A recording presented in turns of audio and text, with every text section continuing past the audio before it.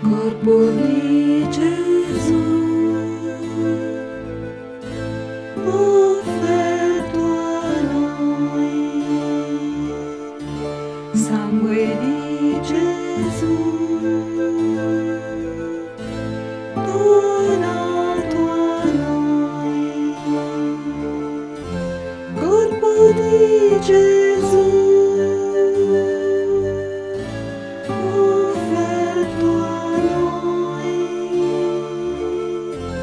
Sangue di Gesù,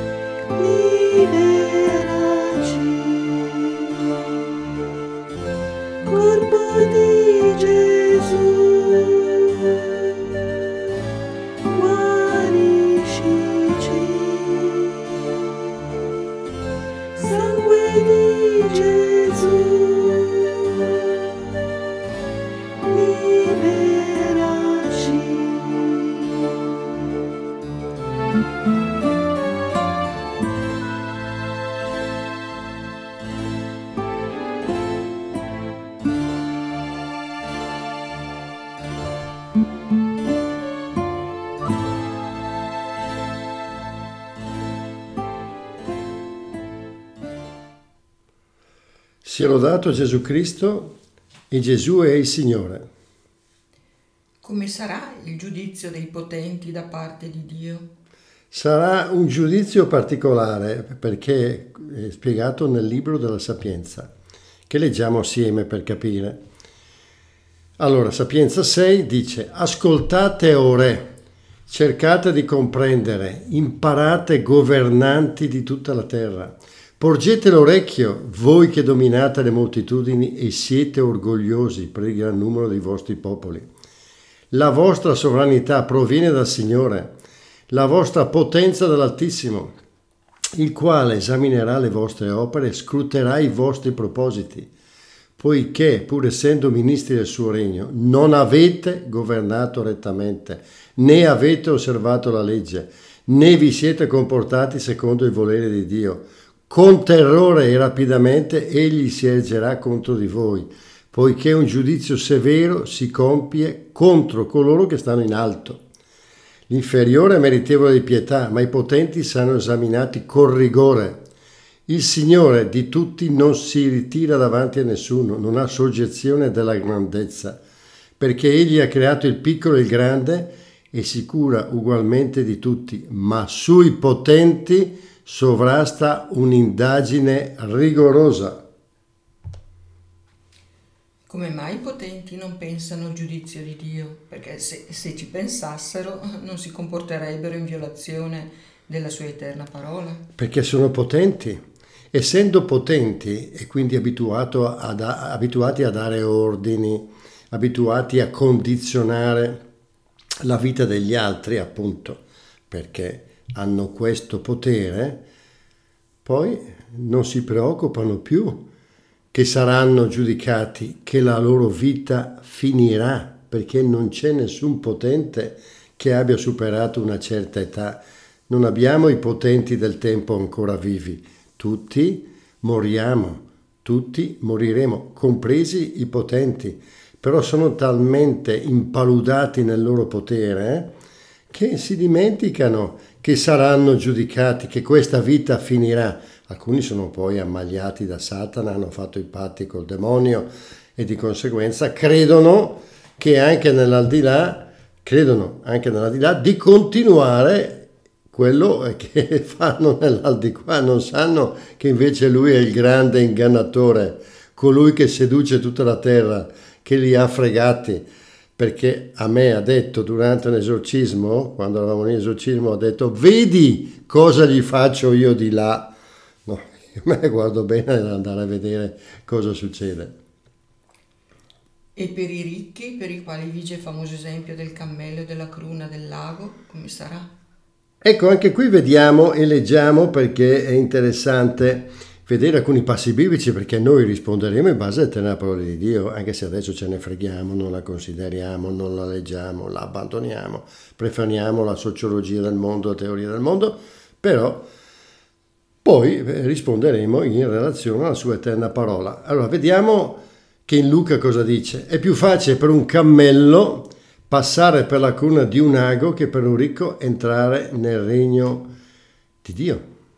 Quindi più facile, ovviamente è un paradosso, come fa un cammello passare attraverso il cuna del lago, ma però dice Gesù, sarà più facile che passi un cammello attraverso il cuna del lago, quindi una cosa impossibile, che non un ricco vada nel regno dei cieli. Perché appunto? Perché il ricco, poi vedremo come si comporta, più sotto lo vediamo, con il famoso caso del ricco Epulone, perché è affascinati, abbacinati, immersi nelle ricchezze che consente loro di avere determinate cose e di conseguenza loro non si preoccupano più degli altri.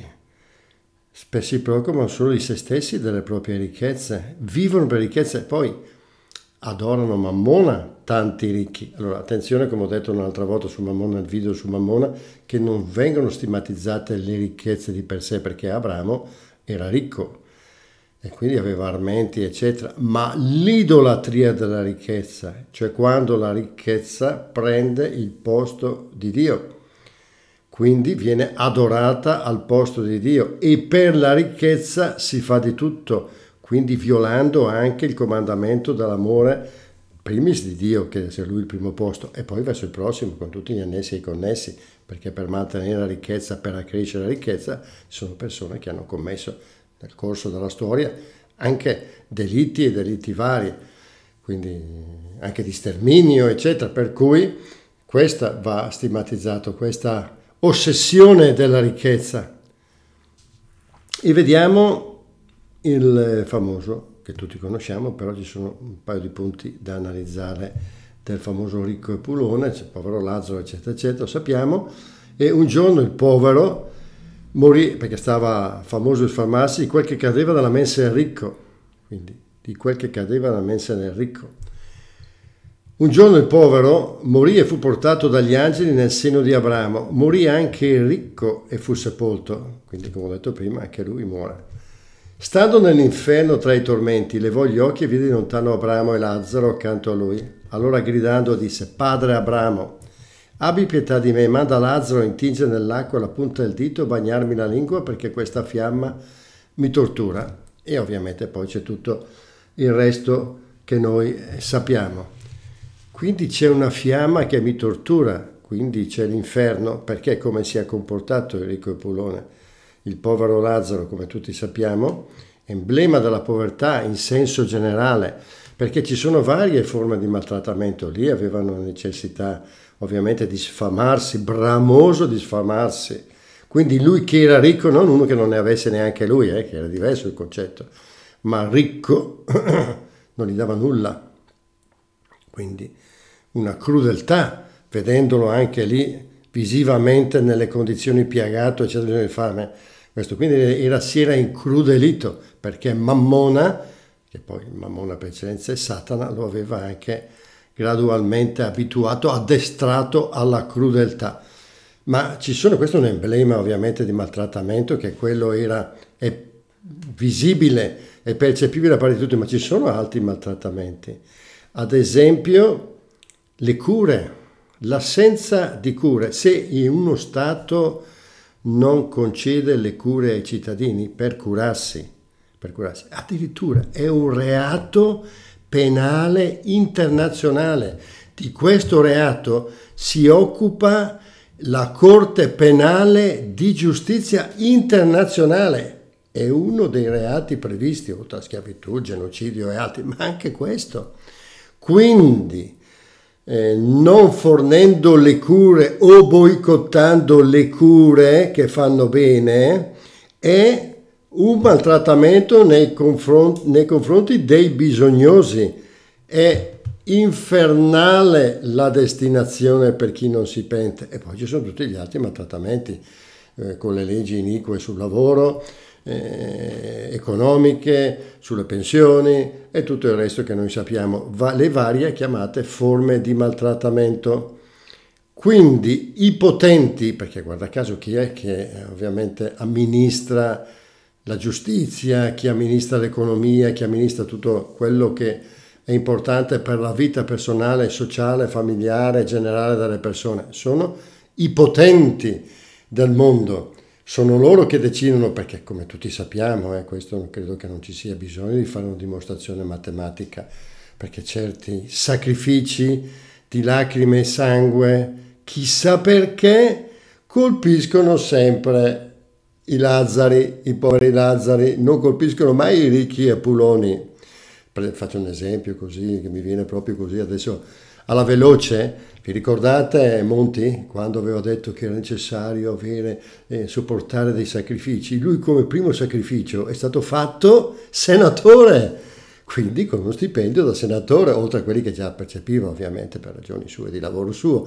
Quindi come sacrificio per l'imposizione dei, dei sacrifici agli altri, senatore a vita. Capito che sacrificio che lui eh, ha dovuto sopportare? Però agli altri invece ha fatto sopportare quello che tu sappiamo. Il primo esempio così alla veloce che è venuto in mente, e possiamo andare avanti a fare tanto un, un elenco di, altri, di altre persone ricche e potenti nel mondo, non solo in Italia, che si sono sacrificate, di ricchi e puloni che quindi agiscono contro addirittura non con indifferenza soltanto nei confronti dei poveri Lazzari, ma addirittura in certi casi volutamente contro nei confronti dei poveri Lazzari. Ed ecco che allora nei loro confronti scatterà una giustizia, come abbiamo letto, sui potenti sovrasta un'indagine rigorosa e ne risponderanno in maniera ancora più decisa e ricordo quello che ha detto il demonio. Vedi cosa gli faccio io di là. Immaginate, oltre a sopportare le fiamme dell'inferno, essere anche ingariati dai demoni. Infatti qui noi siamo di passaggio perché molte persone per esempio prendano a paragone eh, altre, dei conoscenti per esempio che stanno bene sia economicamente che come salute, però noi qui siamo soltanto di passaggio, di là se queste persone non si sono comportate bene non hanno certo il, il piacere di vivere in paradiso. Certamente eternamente. eternamente, là invece la situazione infernale è eterna, perché questo è importante, va sottolineato, l'eterno perché come abbiamo visto con il povero Lazzaro, emblema ovviamente di quanti si guadagneranno il paradiso, finiranno nella felicità eterna e quanti invece finiranno nell'infelicità eterna. Ecco però quelli che hanno quel potere lì non si preoccupano, loro hanno il potere, possono agire, sono anche al di sopra della giustizia, tante volte perché per ragioni di, di conoscenze, perché i potenti hanno anche determinate conoscenze, perché i potenti, soprattutto quelli che possono avvalersi di un flusso di denaro, condizionano anche la politica, condizionano i mass media, quindi agiscono e hanno in contraccambio determinati favori vari, quindi voi sapete benissimo che nel campo, faccio un esempio perché mi sono occupato di questo anche con un video, Ingiustizia è fatta, che nel campo della giustizia ci sono dei bravissimi giudici, il famoso caso ormai che tutti dicono di Falcone e Borsellino, per dire tanti altri ovviamente, anche nei campi del civile, seri e onesti ce ne sono, però o meccanismo, come direbbero i brasiliani, perché fa riferimento a una famosa serie di un caso vero, quindi avvenuto là, c'è il meccanismo in forza del quale, siccome tra i giudici vi sono quelli bravi, come in tutti i campi, anche tra i preti, tra i medici, quelli bravi e onesti e quelli che invece non lo sono, oppure che sono faziosi, eccetera. E quindi basta semplicemente che un caso finisca su una scrivania anziché su un'altra scrivania per fare, eh, per ottenere un, un trattamento diverso, perché se un giudice chiaramente appartiene a una certa ideologia, una certa congrega, decide in un modo o agisce in un certo modo, oppure non agisce. Ecco, quindi un meccanismo fa in modo, quindi il potere ha questa possibilità di influenzare anche la caduta di certi casi su certe scrivanie, con risultati ovviamente diversi. Per cui questi potenti hanno questa possibilità di agire e di conseguenza risponderanno in maniera più rigorosa. E di là, come giustamente hai detto tu, c'è una destinazione se non, si, se non si convertono, forse pure negli ultimi istanti di vita. È un po' difficile, lo possono fare, ma è un po' difficile perché sono talmente immersi, come un po', avete presente Paperon de Paperoni quando leggevamo i giornaletti che si tuffava nei, nei soldi, nella ricchezza, eccetera, ecco, sono talmente immersi in, questo, in questa ubriacatura del potere che se tac rimangono secchi non hanno tanto il tempo di star lì a pensare, eccetera, anche perché poi pensano dall'altra parte perché l'ingannatore gli fa credere di perpetuare anche di là quello che nella di qua. E questa è la grande fregata. Ma questo lo dico e lo ripeto. Guardate che Satana non ha riconoscenza che è una virtù. Lui non ha più nessuna virtù altrimenti sarebbe virtuoso anche per una sola virtù sarebbe, avrebbe una no? sarebbe virtuoso per una virtù lui non ha più nulla è tutto antitetico alla virtù quindi la riconoscenza è una virtù. Satana non ce l'ha. Chi più l'ha aiutato di qua, più viene angariato nell'aldilà. Se qualcuno dei potenti, per caso, per sbaglio, dovesse sentire queste mie parole, se ricordi, perché quando sarà di là gli verranno in mente eternamente. Grazie.